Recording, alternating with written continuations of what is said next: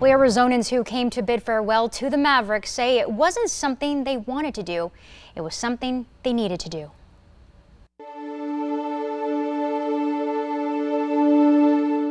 We owe each other our respect, as long as our character merits respect, and as long as we share for all of our differences, for all the rancorous debates that enliven and sometimes demean our politics.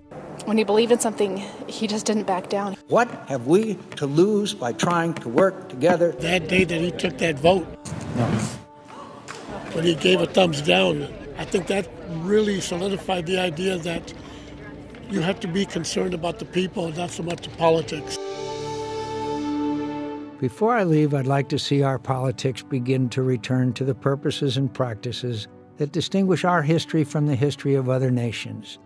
I'd like to see us recover our sense that we are more alike than different. Um, I'm a registered Democrat, but I voted for Senator McCain on a number of occasions just because he always seemed to vote for, for the right thing rather than to take the party line. I came from Sudan. I came as a refugee to United States. Because he's a nice guy. I want to smell the rose scented breeze and feel the sun on my shoulders. I want to watch the hawks hunt from the sycamore. And then take my leave, bound for a place near my old friend Chuck Larson in the cemetery on the Severn, back where it began. How should we remember John McCain?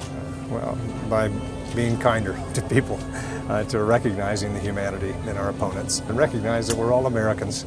We all have far more in common than we do you know, differences.